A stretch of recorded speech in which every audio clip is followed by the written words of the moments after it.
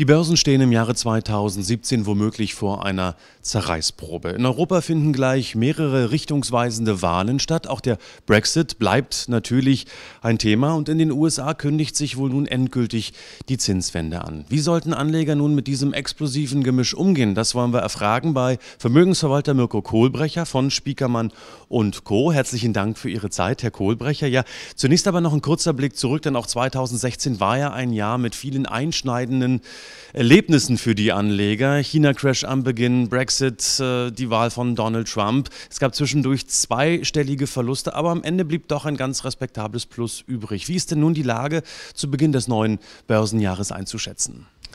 Ja, die positive Entwicklung der letzten Monate ist gut untermauert.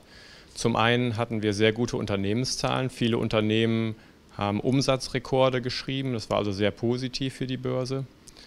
Ähm, ein weiterer Punkt ist die Arbeitslosenzahl. Die ist in den USA und in Deutschland sehr positiv, nahe der Vollbeschäftigung.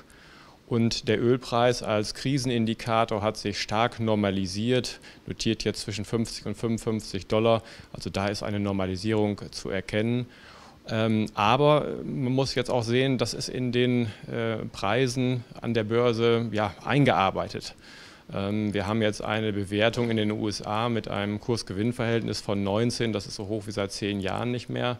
Also insofern ähm, Schnäppchen äh, sucht man zurzeit äh, sehr, sehr schwierig. Und äh, auch die Volatilität, also die Schwankung an den Börsen ist sehr gering. Das heißt, die Anleger machen sich wenig Sorgen um die Zukunft.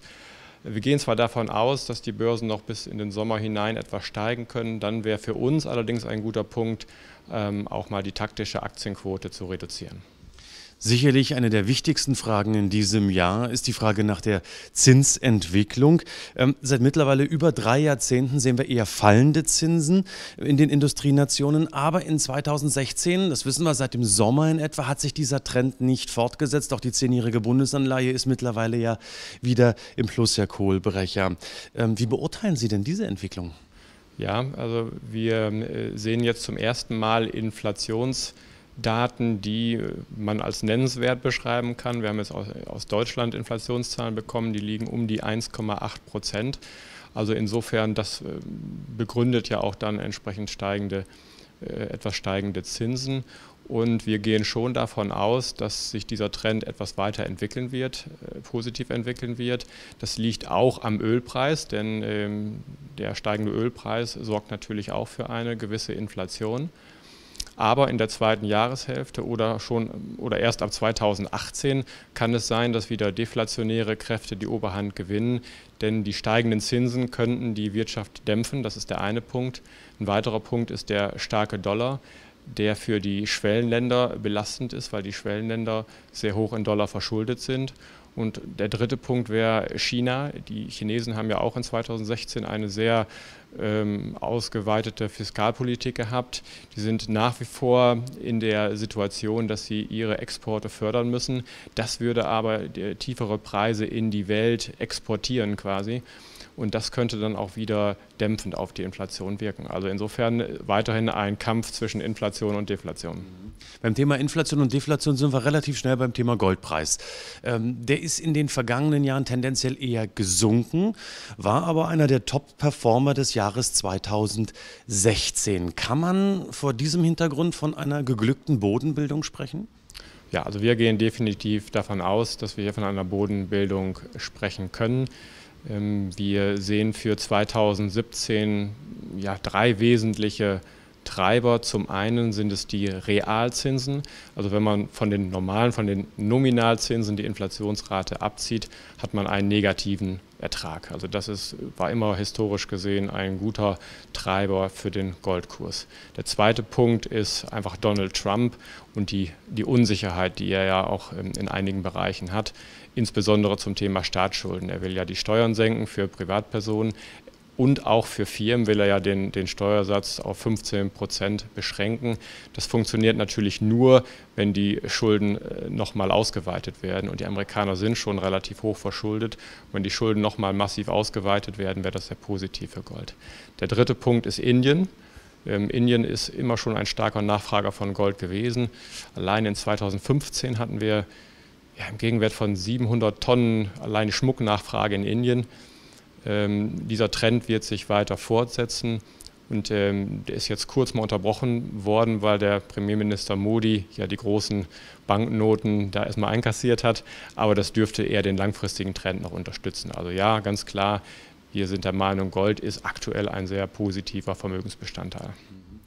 Das Jahr 2016 war von vielen politischen Ereignissen geprägt. Ich habe es kurz in der Anmoderation erwähnt. Das wird in 2017 wahrscheinlich nicht weniger werden. Stichwort Wahlen in den Niederlanden, in Frankreich, dann natürlich im Herbst auch die Bundestagswahl in Deutschland. Welchen Einfluss wird das aus Ihrer Sicht auf die Entwicklung der Vermögenspreise haben?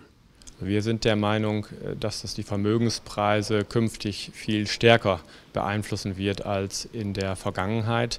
Wir sehen ähm, sogenannte negative Megatrends in den Industrienationen. Es gibt auch viele positive, es gibt auch negative. Da haben wir einmal das Schuldenwachstum. Mittlerweile müssen wir von einer Überschuldung sprechen. Dann haben wir den, die demografischen Trends und dann haben wir als dritten Punkt das schwache Wachstum. All diese Aspekte führen dann zu ja, Maßnahmen, zum Beispiel der Notenbanken, Stichwort Negativzinsen, die führen jetzt zu diesem komplexen Brexit-Prozess in Großbritannien oder zum Beispiel das Thema Protektionismus in den USA unter Trump mit den Autobauern in Mexiko, das ist ja derzeit ein sehr aktuelles Thema. Das sind eben Entwicklungen, die auf diese großen Trends zurückzuführen sind. Welchen Rat können Sie denn abschließend den Anlegern geben? Wie sollten die sich in diesem ja doch recht unbekannten Territorium dieses Schuldenüberhangs dann bewegen im Börsenjahr 2017? Glaube, eine wesentliche Erkenntnis ist, dass es den risikolosen Zins einfach nicht mehr gibt. Wir haben einen 30-, 40-jährigen Schuldenboom gehabt. Das Thema der nächsten fünf bis zehn Jahre ist Schuldenabbau. Und jeder Prozess dieses Schuldenabbaus hat äh, Nebenwirkungen und äh, Risiken, ist also nicht einfach zu haben. Und jeder Anleger muss sich quasi vor einseitigen Risiken schützen. Wenn wir eine große Inflation bekämen, würde das die Geldwerte stark betreffen. Wenn die Zinsen stark steigen sollten, können die Immobilienpreise auch stärker wieder unter Druck kommen. Also es geht darum, sein Vermögen vernünftig zu diversifizieren und auf diesem Fundament der vernünftigen Streuung kommt dann unsere Aufgabe ins Spiel als Vermögensverwalter, die sich ständig ergebenden Chancen zu nutzen und die wird es auch in 2017 bestimmt geben. Ein Blick auf das Börsenjahr 2017 von Mirko Kohlbrecher von Spiekermann und Co. Ganz herzlichen Dank für das Gespräch.